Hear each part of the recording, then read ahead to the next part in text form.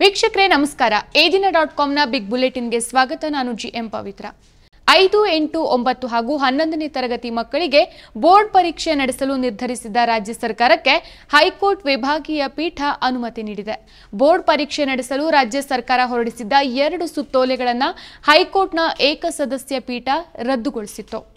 ಅದನ್ನ ಪ್ರಶ್ನಿಸಿದ್ದ ರಾಜ್ಯ ಸರ್ಕಾರ ವಿಭಾಗೀಯ ಪೀಠದ ಮೊರೆ ಹೋಗಿತ್ತು.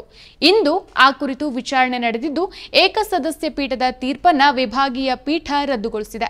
ಆ ಮೂಲಕ ಬೋರ್ಡ್ ಪರೀಕ್ಷೆಯನ್ನ ಮುಂದುವರಿಸೋಕೆ ರಾಜ್ಯ ಸರ್ಕಾರಕ್ಕೆ ಹಸಿರು ನಿಶಾನೆ ತೋರಿದೆ. ಮದ್ಯ ನೀತಿ ಹಾಗೂ ಅಕ್ರಮ ಹಣ ವರ್ಗಾವಣೆ ಪ್ರಕರಣದಲ್ಲಿ ಬಂಧನಕ್ಕೆ ಒಳಗಾಗಿದ್ದಂತಹ ದೆಹಲಿ ಸಿಎಂ ಅರವಿಂದ್ ಕೇಜ್ರಿವಾಲ್ ತಮ್ಮ ಬಂಧನವನ್ನ ಪ್ರಶ್ನಿಸಿ ಸುಪ್ರೀಂ ಕೋರ್ಟ್ಗೆ ಸಲ್ಲಿಸಿದ ಅರ್ಜಿಯನ್ನ ವಾಪಸ್ ಪಡೆದಿದ್ದಾರೆ. ಪ್ರಕರಣ ಸಂಬಂಧ ಇಂದು ಸುಪ್ರೀಂ ಕೋರ್ಟ್ನಲ್ಲಿ ವಿಚಾರಣೆ ನಡೆದಿದ್ದು, ಈ ವೇಳೆ ಅರವಿಂದ್ ಕೇಜ್ರಿವಾಲ್ ಪರ ವಕೀಲ ಅಭಿಷೇಕ್ ಮನು ಸಿಂಘ್ವಿ, ಕೇಜ್ರಿವಾಲ್ ಅವರು ಅರ್ಜಿಯನ್ನ ಹಿಂಪಡೆಯೋಕೆ ನಿರ್ಧರಿಸಿದ್ದಾರೆ ಅಂತ ತಿಳಿಸಿದ್ದಾರೆ. ಸ್ವತಂತ್ರ ಭಾರತದ ಇತಿಹಾಸದಲ್ಲೇ ಸೇವೆಯಲ್ಲಿದ್ದು ಬಂಧನಕ್ಕೊಳಗಾದ ಮೊದಲ ಮುಖ್ಯಮಂತ್ರಿಯನ್ನು ಅಪಖ್ಯಾತಿಗೆ ಒಳಗಾಗಿದ್ದಾರೆ. ದೆಹಲಿ ಸಿಎಂ ಅರವಿಂದ್ ಕೇಜ್ರಿವಾಲ್ ಬಂಧನವನ್ನ ಖಂಡಿಸಿ ಆಮ್ ಆದ್ಮಿ ಪಕ್ಷದ ರಾಜ್ಯ ನಾಯಕರು ಇಂದು ಬೆಂಗಳೂರಿನ ಫ್ರೀಡಂ ಪಾರ್ಕ್ನಲ್ಲಿ ಪ್ರತಿಭಟನೆ ನಡೆಸಿದ್ದಾರೆ. ಕೇಂದ್ರ ಸರ್ಕಾರ ಐಟಿಇಡಿಯಂತಹ ತನಿಖಾ ಸಂಸ್ಥೆಗಳನ್ನು ಬಳಸಿಕೊಂಡು ತಮ್ಮ ವಿರೋಧಿಗಳನ್ನ ಹತ್ತಿಕ್ತಾ ಇದೆ ಅಂತ ಪ್ರತಿಭಟನಾಕಾರರು ಆರೋಪಿಸಿದ್ದಾರೆ. ಈ ವೇಳೆ ಪಕ್ಷದ ರಾಜ್ಯಾಧ್ಯಕ್ಷ ಮುಖ್ಯಮಂತ್ರಿ ಚಂದ್ರು ಅವರು ಮಾತನಾಡಿ ಕೇಜ್ರಿವಾಲ್ ಅವರ ಜನಪ್ರಿಯತೆಯನ್ನ ಸಹಿಸದೆ ಕುತಂತ್ರದಿಂದ ಬಂಧಿಸಿದ್ದು ಜಾಮೀನು ಸಿಗದಂತೆ ತಂತ್ರ ಮಾಡಲಾಗಿದೆ ಅಂತ ಆರೋಪಿಸಿದ್ದಾರೆ. ಅಲ್ಲದೆ ಈ ದಿನವನ್ನ ಕರಾಳ ದಿನ ಅಂತ ಕರೆದಿದ್ದಾರೆ.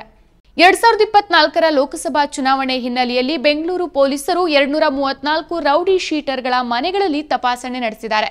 ಚುನಾವಣಾ ಸಂದರ್ಭದಲ್ಲಿ ಕಾನೂನು ಸುವ್ಯವಸ್ಥೆ ಕಾಪಾಡುವ ದೃಷ್ಟಿಯಿಂದ ಸುಬ್ರಹ್ಮಣ್ಯಪುರ ಉಪವಿಭಾಗದ ವ್ಯಾಪ್ತಿಯಲ್ಲಿ ನೂರ ಇಪ್ಪತ್ತೈದು, ವಿವಿಪುರಂ ವ್ಯಾಪ್ತಿಯಲ್ಲಿ ಎಪ್ಪತ್ತಾರು, ಜಯನಗರ ವ್ಯಾಪ್ತಿಯಲ್ಲಿ ಮೂವತ್ಮೂರು ಮನೆಗಳನ್ನು ಪರಿಶೀಲಿಸಲಾಗಿದೆ.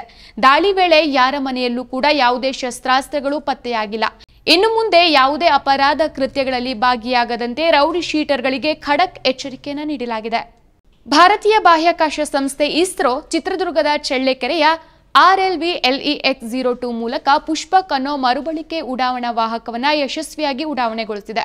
ಭಾರತೀಯ ವಾಯುಪಡೆಯ ಚಿನೋ ಹೆಲಿಕಾಪ್ಟರ್ನ ಮೂಲಕ ನಾಲ್ಕೂವರೆ ಕಿಲೋಮೀಟರ್ ಎತ್ತರದಿಂದ ಆರ್ಎಲ್ವಿ ಎಲ್ಇಎಕ್ಸ್ ಜೀರೋ ಟೂ ಉಡಾವಣಾ ವಾಹಕವನ್ನ ಬಾಹ್ಯಾಕಾಶಕ್ಕೆ ಕಳಿಸಿದೆ ಈ ಯೋಜನೆಯನ್ನ ವಿಕ್ರಮ್ ಸಾರಾಭಾಯ್ ಬಾಹ್ಯಾಕಾಶ ಕೇಂದ್ರದ ನೇತೃತ್ವದಲ್ಲಿ ಸಿದ್ಧಪಡಿಸಿದ್ದು, ಸಂಪೂರ್ಣ ಮರುಬಳಕೆ ಮಾಡಬಹುದಾದಂಥ ಮತ್ತು ಕಡಿಮೆ ವೆಚ್ಚದಲ್ಲಿ ಬಾಹ್ಯಾಕಾಶವನ್ನ ಪ್ರವೇಶಿಸುವ ಪ್ರಯತ್ನ ಅಂತ ಇಸ್ರೋ ತಿಳಿಸಿದೆ.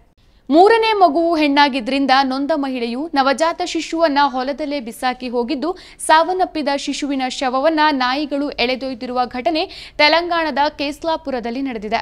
ಈ ದೃಶ್ಯ ಕಂಡ ಗ್ರಾಮಸ್ಥರು ಪೊಲೀಸರಿಗೆ ತಿಳಿಸಿದ್ದು, ಘಟನೆಯ ಕುರಿತು ಎಸ್ಎಸ್ಐ ವಿಜಯ್ ಪ್ರತಿಕ್ರಿಯಿಸಿದ್ದಾರೆ. ಪ್ರಕರಣ ಸಂಬಂಧ ದೂರು ದಾಖಲಿಸಿಕೊಂಡು ತನಿಖೆ ನಡೆಸುತ್ತಿರುವುದಾಗಿ ಅವರು ತಿಳಿಸಿದ್ದಾರೆ. ಹದಿನೇಳನೇ ಆವೃತ್ತಿಯ ಐಪಿಎಲ್ ಆರಂಭಕ್ಕೆ ಕ್ಷಣಗಣನೆ ಇರುವಾಗ ಚೆನ್ನೈ ಸೂಪರ್ ಕಿಂಗ್ಸ್ ಫ್ರಾಂಚೈಸಿ ತನ್ನ ತಂಡದ ನಾಯಕನನ್ನ ಬದಲಾಯಿಸಿದೆ. ಅದರಂತೆ ಯುವ ಬ್ಯಾಟರ್ ಋತುರಾಜ್ ಗಾಯಕ್ವಾಡ್ ತಂಡದ ಹೊಸ ನಾಯಕನಾಗಿ ಜವಾಬ್ದಾರಿ ವಹಿಸಿಕೊಂಡಿದ್ದಾರೆ. ಸಿಎಸ್ಕೆ ತಂಡವನ್ನ ಸುದೀರ್ಘ ಕಾಲ ಮಹೇಂದ್ರ ಸಿಂಗ್ ಧೋನಿ ಅವರು ಮುನ್ನಡೆಸಿದ್ದು ಈಗ ತಮ್ಮ ಸ್ಥಾನವನ್ನ ತೊರೆದಿದ್ದಾರೆ. ಬಿಹಾರದ ಸುಪಲೌನಾ ಬಾಕೂರ್ ಮತ್ತು ಭೇಜ್ಘಾಟ್ ಮಧುಬನಿ ನಡುವೆ ನಿರ್ಮಾಣ ಹಂತದಲ್ಲಿದ್ದ ದೇಶದ ಅತಿದೊಡ್ಡ ಸೇತುವೆ ಕುಸಿದು ಬಿದ್ದಿದೆ. ಘಟನೆಯಲ್ಲಿ ಕಾರ್ಮಿಕನೊಬ್ಬ ಸಾವನ್ನಪ್ಪಿದ್ದು ಮೂವರ ಸ್ಥಿತಿ ಗಂಭೀರವಾಗಿದೆ. ಇಪ್ಪತ್ತಕ್ಕೂ ಹೆಚ್ಚು ಕಾರ್ಮಿಕರಿಗೆ ಗಾಯಗಳಾಗಿದ್ದು, ಹಲವು ಕಾರ್ಮಿಕರು ಸೇತುವೆಯ ಅವಶೇಷಗಳಡಿ ಸಿಲುಕಿದ್ದಾರೆ ಅಂತ ಎನ್ಎಚ್ಎಐನ ಸ್ಥಳೀಯ ಅಧಿಕಾರಿ ಮಾಹಿತಿ ನೀಡಿದ್ದಾರೆ. ಕಳಪೆ ಕಾಮಗಾರಿಯೇ ಈ ದುರ್ಘಟನೆಗೆ ಕಾರಣ ಅನ್ನೋ ಆರೋಪಗಳು ಕೇಳಿಬರ್ತಾ ಇದೆ. ಇಟಲಿ ಪ್ರಧಾನಿ ಜಾರ್ಜಿಯಾ ಮೆಲೋನಿ ತಮ್ಮ ಮೇಲೆ ಡೀಪ್ ಫೇಕ್ ವಿಡಿಯೋ ಮಾಡಿದ್ದಕ್ಕೆ ಸುಮಾರು ತೊಂಬತ್ತು ಲಕ್ಷಕ್ಕೂ ಅಧಿಕ ರೂಪಾಯಿಯ ಮಾನನಷ್ಟ ಮೊಕದ್ದಮೆ ದಾಖಲಿಸಿದ್ದಾರೆ. ಈ ಕೃತ್ಯ ನಡೆಸಿರುವ ಆರೋಪದ ಮೇಲೆ ಇಬ್ಬರನ್ನ ಬಂಧಿಸಲಾಗಿದೆ. ಈ ಬಗ್ಗೆ ಪ್ರಧಾನಿ ಮೆಲೋನಿಯ ಕಾನೂನು ತಂಡ ಮಾಧ್ಯಮಗಳಿಗೆ ಪ್ರತಿಕ್ರಿಯೆ ನೀಡಿದ್ದು, ತಮ್ಮ ಪ್ರಧಾನಿಗಳು ಈ ಹಣವನ್ನ ದೌರ್ಜನ್ಯಕ್ಕೆ ಒಳಗಾಗಿರುವ ಮಹಿಳೆಯರ ರಕ್ಷಣೆ ಮತ್ತು ಉನ್ನತೀಕರಣದ ಕೆಲಸಗಳಿಗೆ ಬಳಸ್ತಾರೆ ಅಂತ ತಿಳಿಸಿದ್ದಾರೆ. ನೈಜ ಸುದ್ದಿಗಳಿಗಾಗಿ ನೋಡ್ತಾ ಇರಿ ಈ ದಿನ ಡಾಟ್ ಕಾಮ್. ಇದು ಸತ್ಯ, ನ್ಯಾಯ, ಪ್ರೀತಿಯ ಧ್ವನಿ.